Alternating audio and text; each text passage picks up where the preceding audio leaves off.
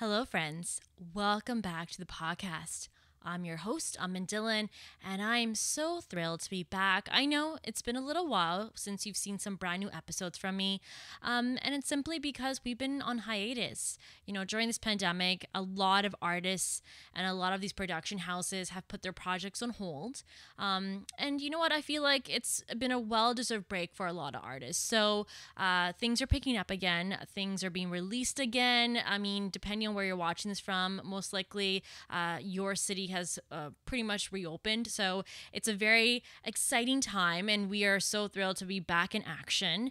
Now, for this episode, I'm super excited because not only am I back creating new content for you because you know I missed you all, but also it's my first time actually speaking to this actress. So today on the show, I am sitting down for an exclusive with the one and only, the gorgeous, the talented Mallika Sherawat. She's on the show. And what's interesting is it's my first time chatting with her. I've actually, my whole decade of being in media, I've never had a chance to meet her. I've never had a chance to interview her. So for me personally, it's just so exciting to be able to finally get that chance to meet her. I respect her so much. I think she's a great actress and she's always coming up with these amazing characters. And, you know, on the show today, you're actually going to hear from her and how much it means for her to be back with a brand new movie. She's put in so much work into this movie and she's playing this character named Gulabo and she's just this is her dream role. She's so thrilled to be playing her and you know you can just tell she just really missed being in action and she just really wanted to make sure she was able to connect with you, her lovely fans. So we're getting a chance to chat with her about this movie and we're also just going to catch up with her and see what life has been like for her. So I know you, all you big Bollywood fans and all of you Mallika fans are going to really enjoy this interview. So before we get to it, let me just remind you all that we would so love it if you could subscribe to this channel. It means so much to us. It means that also you don't miss anything. So every time there's any new exclusive content, you will see it. So be sure to subscribe to this channel for all of that. And without further ado, here is my exclusive with the one and only Mallika Sherawat. Check it out. Mallika, it is so good to have you on the show. It is such a pleasure. I've been dying to interview you, so it's so good that finally it's happening. First of all, I got to ask you, how are you doing? Thank you, Amin. I'm really doing good. Thank you for asking. Just like we were talking, you know, everywhere you look, it's doom and gloom and sad and heartbreaking news. So the and, and the release of RKRK, which is releasing on this Friday, May 14th in America, North America, and Canada, it's something that I really look forward to. It's such a divine blessing to focus all the energies on this creative aspect of our lives instead of focusing on the doom and the gloom. Mm-hmm. And I know a lot of people were hesitant to release any projects during the pandemic, which I completely understand, but I feel like people need it. I feel like more than ever, they need good entertainment. And I am so happy to see that not only you and your team decided to release the movie, but also I know you have been very vocal online. You've been interacting with your fans um, and making sure they kind of have a distraction and have a way of feeling like they're not being cut off from the world. So thank you. I think this is going to be a, a nice positive change that people are really going to look forward to and appreciate. Well, you're welcome. You know, in India, unfortunately, we cannot release it right now because all the theaters are closed. But fortunately, in America, the theaters are open, opening in the process, and we can release it. We can a virtual cinema. Uh, whereas you go go click a link on the website and then you can buy a virtual ticket and watch it home, or you go to the theater. So I'll be going to the theater in Los Angeles at the Laemmle Theater to watch it live in the theater. You are? It's open? Yeah, it's open. Oh, okay. Uh, it's different here in Toronto. Everything is still closed. Oh, that's such a bummer. Uh, well, you know, Toronto loves you. In fact, your Canadian fans love you. So, what role do your Canadian fans play in your life? Do you feel that love and appreciation from them? They play a huge because I think Canadians are such die-hard Bollywood fans and they're so loyal I mean, their love and support means the world to me. I am who I am because of my fans. So I'm really hoping that my Canadian fans are going to support me, stand by me, and just watch my film on the 14th of May. And I mean, such a light-hearted, fun film to watch. It takes you to another world. And that is what we need right now. the escape Mm-hmm. Okay, so let's get into the movie. So, one thing I've noticed about you, Mallika, is you're not one of those actresses that just pushes movie after movie after movie out, right? Like, you're very choosy with your roles. I've always noticed that about you. And if you look at the characters that you've chosen, they're always very different from each other, right? And you can tell that you're always trying to pick different characters that really challenge you as an actress, or you can tell that the role just really spoke to you. You can just tell you're just really excited and you're really feeling connected to that character. So, about this movie, tell me the story. How did you come across it? How did you come across the script? And what was it about this movie and this role that really spoke to you? You know, I mean, I'm a huge fan of the director, Rajat Kapoor. And when he offered me the film, the script, when he sent me the script, I was just over the moon. It's so fantastic because, first of all, Rajat has made one of the finest films that has that has come out of India called Aankho Dekhi, which is it's my favorite film. So, and I'm a huge fan. And when I got this opportunity, this role, I read the script and I'm like, I'm doing it. I'm I'm the I'm Gulabo because where I mean, mainstream Bollywood is so formulaic. I mean, you don't get to play parts like this. You don't get scripts like this. It's so predictable. It's all about looking good, looking glamorous, having nice, good songs, and nothing against that. But I think I've been there and done that. And now it's time for um, reinvention, which is very important for an actor to reinvent. So tell me, when you are playing these different characters, I know as an actress, you really are trying to get into the mind of that character, right? So that when people are watching that character on the screen, they're not thinking, oh, I'm watching Mallika. They're thinking, oh, I'm actually watching this character. In this example, Gulabo. So tell me a little bit about preparing for this role. What do you do in order to really feel like you're in you're stepping to the shoes of Gulabo and really making sure that you are bringing her character alive on screen? So, you know, it's based on it's an it's an ode to the cinema, Bollywood cinema of the 50s and the 60s, which I also think was the golden period of Hindi film. It really was. So we've based Gulabo on one of those uh, yesteryear actresses like we had uh, Waheeda Rehman we had uh, Meena Kumari ji, Madhubala.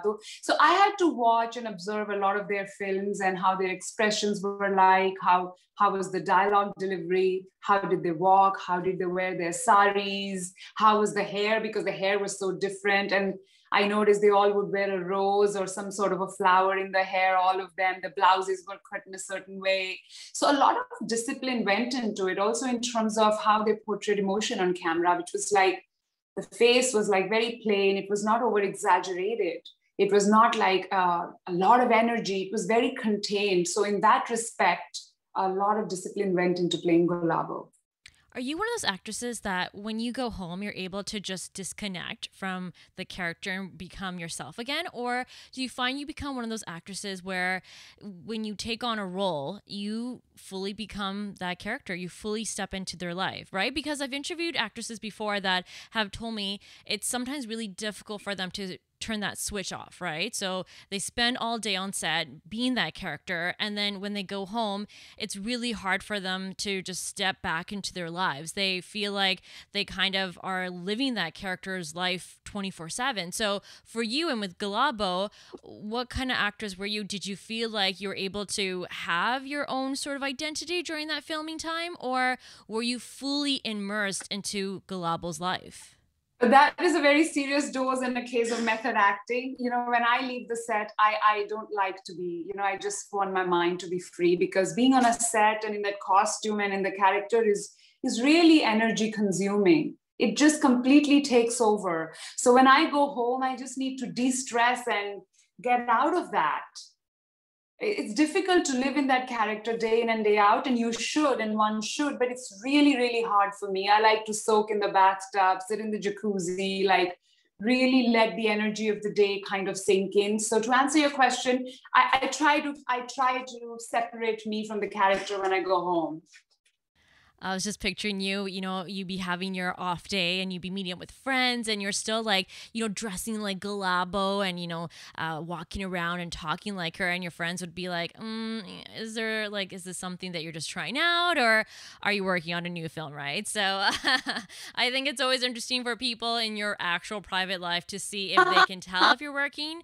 on a movie or if you're not. Well, that'd be great fun, but it's not practical in real life. Like my mom, my mom would think my my mom would think she's gone mad. Moms always think that. They all do.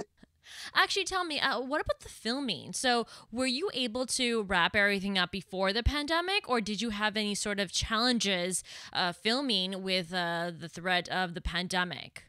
We followed, we were not so affected by the pandemic. We followed strict protocols and everything, and we were able to wrap it up just before the serious wave of the pandemic hit. So we really escaped by a narrow margin. Mm-hmm. And then what about the release of the movie, right? So, you know, I'm sure this must have been a big discussion with everybody involved. You know, when do you release a movie? When is the right timing? So, was there an actual opportunity that the film was done and you could have released it earlier and maybe there was some hesitation too? Or, you know, why did the team feel like now was the right time to release this movie? We couldn't have released it earlier because the cinemas were closed. In india in india the theaters have been closed since last one year or maybe more.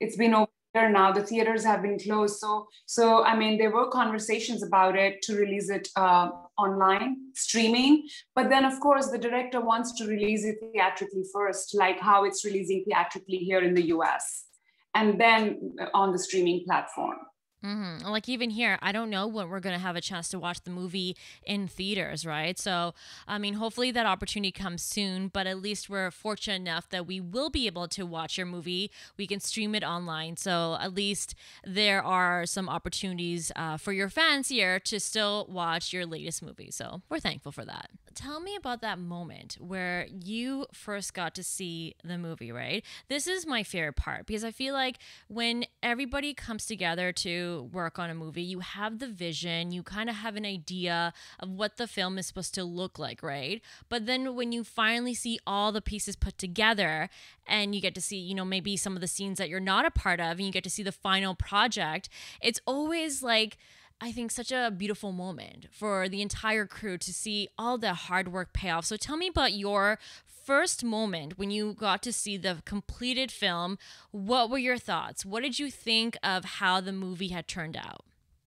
Yeah, because let me tell you what what I saw translated on the screen is much better than what I read on paper because the film is also the film is also very philosophical. It has a very huge philosophical part of the film is is like that. So that the philosophy translated better on screen because it was very visual coupled with music and and dialogues I could really understand that and enjoy it. I mean, you know, I mean, where do you see in, in Hindi film cinema even characters named Gulabo and Mehboob today? Where? You know, the Bollywood films are so formulaic, you don't even see that. And, and I feel that the, these kind of films are uh, independent films, they are the heartbeat of Indian cinema th- this is what really keeps the Indian cinema going. But it is so hard to get funding to get these kind of films made. It's really, really tough. Mm-hmm. Or even just getting a film release, because I've interviewed numerous independent artists and filmmakers, directors, and that is one of the biggest issues they've told me is, you know, when they have a project, it's hard to get, you know, financial backing or to even get the same sort of resources that a sort of commercial project may get, right? So, in terms of being released in the same amount of movie theaters, um, the timing, um, what slot they get, you know, marketing, et cetera, And so, you you know, sometimes I feel like there's this misconception that there isn't an appetite for original scripts or for sort of these non commercial movies, but there is. Like, it, we have been seeing that so much. There's so much um, popularity now with these independent films, uh, independent shows, independent artists, where the audience really craves something original, something they've never seen before. And, you know, I just think at the end of the day, it doesn't matter, you know, if you have the big name attached to it or if you of the big, you know, production house behind it. People appreciate really great stories. People go to the theaters, that people go to the streaming services because they want to feel a connection to a story. They want to have something, a feeling invoked inside of them that makes them go, this movie is really relatable, or this movie just, you know, maybe opened me up to a world that maybe I don't have any connection to, right? Like people, I think, don't want to always feel like they're seeing the same old, same old. People really appreciate original productions like this. Absolutely, absolutely. And, and coming back to RKRK, you know, the, the uh, characters like Gulabo don't exist in real life. She's so ethereal and always love and longing, expressions of love and longing on her face. And they exist only in the fantasy. They exist only in our minds. So that so in that way, it was great fun playing Gulabo. And of course, to wear all those great 60s costumes and have your hair and makeup done like that it it did give me it did give me a feel of how the actresses must have felt and gone through at that time Okay, so we want to make sure everyone goes out and watches the movie, of course. Uh, so maybe we can kind of give a little teaser to the film, right? So when your fans go watch the movie, uh, tell me about a moment that was really special for you. So when you watched the movie for the first time, you know, tell me about the scene. It doesn't even have to have you in it, where you're watching it and you were like, wow, that is such a powerful moment in the movie, or wow, this is a moment that really just connects or touches my heart. So, you know, that way when your fans go watch the movie, they can look out for that scene. So, was there a particular scene in the movie that just really blew your mind? I mean, there are so many moments like that in the film. But since the film is very lighthearted and fun, I really loved uh, Ranvir Shorey's character because he plays a villain in the film. And but he plays a very classy villain. Do you understand? And he like he will talk to Gulabo with a lot of आप कैसी हैं and the dial very respectfully, unlike the villains of today. But one of my favorite scenes is the, the, the romantic scene between Gulab, Gulabo and Mehboob, where she's telling him apna khayal rakhna, and he's saying mera naseeb meri muthi mein. It just makes you, you know, that kind of romance, how actors used to romance with each other back in the day in the 60s I relived that in this movie. That was that they were very special to me. Mm-hmm. Actually, that's a really good point because I feel like a lot of movies these days they focus on showing romances in a very modern type of way, right? But I think there's still that appreciation for that old-fashioned style of love where it wasn't so much about you know the physical touch or sometimes two people couldn't even be together physically in a room, but it was about using their words as poetry. Or, you know, you would have characters writing letters, love letters to each other, right? And to me, that's like such a beautiful way to show romance. And that's why we call it the classic old fashioned type of romance that you don't really see that often uh, on shows, on uh, TV, in the movie. So that is something that's really special about this movie as well. Right it's that kind of a romance with their eyes and very very subtle so that that is really for me uh, the most special part of the movie it's like a choreography a beautiful choreography between mehboob and gulabo I want to give you the chance to pitch your fans, make sure they know why they need to drop everything and absolutely go watch your movie as soon as it's available in their country. Tell them why they need to do so. Because it's such a good film. It's a fun, light-hearted film. There is no unnecessary violence.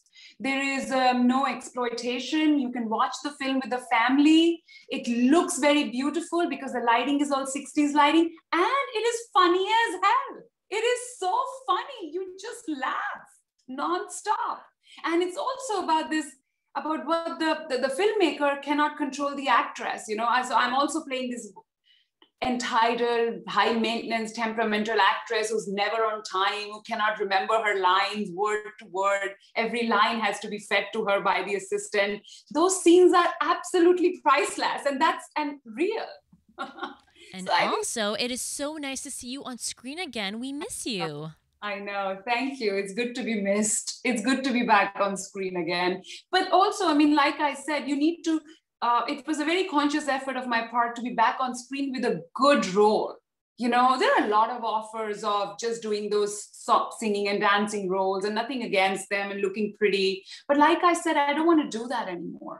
I want roles now okay they can be glamorous but they should have some substance some acting substance scope for reinvention layers to the character and you know what's interesting? This is the first time we're actually meeting, and this is the first time I get a chance to interview you. But I've always, as a fan of your work, I've always noticed that about you that you always pick different characters, that you're just somebody who marches to her own beat. You aren't somebody that, you know, gets kind of put into a box of okay these are the directors you're going to work with these are the movies you're going to do these are the characters you're going to play right? I've always gotten a sense that you are an artist first and whatever kind of speaks to you you're going to do. You're not going to try to follow what everyone wants you to do you're going to listen to your own gut. And so you know every time i've seen a movie that has your name attached to it i actually don't know what i'm going to get right? I, I have no idea what kind of character character it's going to be. You know, I don't know if it's going to be, you know, the very glam, you know, uh, sophisticated, you know, uh, dancer model, or it could be somebody who is going through a very difficult time and struggling, right? And, you know, even like the way your character will come across on screen, I have no idea like how it's going to be shot, right? Because all your films are so different from each other. And, you know, I actually really appreciate that, that as a movie goer, when I go to, when I go to see something that has your your name attached to it, I love the fact that I am in suspense. I have no idea what you're going to do to bring that character alive. So I really appreciate that, that you march to your own beat and you don't let anyone tell you what to do or how you should be doing your acting. So I appreciate that. Well, thank you. I try. I try. Another thing I wanted to point out to everybody was I remember when you first moved to LA, when you first went into Hollywood, it was at a time where no one had really done it, or at least had been successful in it. Um, it was also even a time when it wasn't just even Bollywood actresses trying to do a crossover and get work in Hollywood. It was also a time where you just didn't see a lot of South Asian faces on the screen, right? And obviously, we're so fortunate. Things have changed now. You're seeing so much South Asian talent that's, you know, everything from movies to TV shows uh, on screen to behind the scenes. So there's a lot of South Asian talent now. But again, it's a testament to you marching to your own beat. You went out there, you went to go try Hollywood before it was really safe to, before it was really uh, seemed like a possible crossover. And to me, that makes you a pioneer. And I think a lot of people should still give you credit that at that time you took a big risk by leaving something that you were very comfortable with, where you had, you were famous and popular and had all these offers, and you actually went and took a challenge went to a whole other market and really opened the doors, I think, for a lot of other people to feel like not only if they wanted to try Hollywood, that it was a possibility for them to be able to find work there. And I think eh, women like you are part of the reason where so many South Asian actors and actresses feel like it is possible to work in Hollywood. That's true. Yeah. Are you still based in LA? No, no, no, because I'm now between India. You know, it's at the end of the day, I mean, India is home, and that's where my people are, my family is. Uh, that's where my fans, you know, love me. They're all there. So it's difficult to to have one foot in LA and one foot in Bombay it's really tough. So I'm spending more and more time in India because also what's happening is uh, in, in the pandemic, India discovered streaming. And on a streaming platform, I think writers and directors have a lot of freedom to write uh, substantial characters for women. For example, Delhi Crime, you know, we have a 55 year old woman who's playing the lead, and, the, and Delhi Crime won an Emmy Award. So, which is really hopeful for actors like me. And so now there is interesting work happening also in India which uh, uh, on the streaming space so which is i'm exploring right now. And I think not only was it wonderful for women in India to feel like that there was a market outside of India for them to find work, for example, in uh, entertainment, but it was also important for women like myself that grew up in Toronto, grew up outside of India, but were connected to their Indian roots to see faces like yours on the screen because you know, it's important to have representation. It's important to feel like you are being included and that there is a spot for you at the table. And so to have women like you before it became really everybody coming over and trying to find work in Hollywood and being successful at it, you were that woman that I think everyone looked to to say, you're going to be the one to break down these barriers. You're going to be the one that we're going to turn on the Emmys or the Oscars and we're going to see a South Asian woman standing there. You know, I think that's something that is really important that you've done with your career just to even help other South Asian women feel like they're represented. Absolutely. Right, absolutely. And today it's really possible. In today's world, it's very, very possible with diversity becoming such a focus. Okay, so I'm almost out of time with you, but I want to bring up this question because this is also a testament to why you are so unique and special. So I remember the first time I saw a photo of you. Now, you've been pictured with so many celebrities, but this photo in particular made me go, wow. It was a photo of you with President Obama. And to me that I was like, oh my God, this woman is living the life. Like for you to be invited to be that close to the president and to get a photo with him, I'm going to state this right now. I think there is no one else from Bollywood that's actually been able to meet with the president and get a photo with him. I'm going to state it. I mean, correct me if I'm wrong, but I've not seen any other Bollywood actor or actress achieve that. So, again, that's a testament to you and of your amazing career that you were able to be in that circle, to be in that environment. And so that's what is leading me now to my next question. Of course, you broke down barriers by obviously being invited to the White House and getting your photo. Now we have the first ever South Asian VP. So I wanted to find out what were your thoughts when you first heard the news that Kamala Harris was elected as America's vice president? I, I you know, I've met her. I've had the good fortune of meeting her. She's half Indian, half African American. Uh, she's extremely bright, intelligent, and come on, she's made history. So we're all, it's something to be really proud of.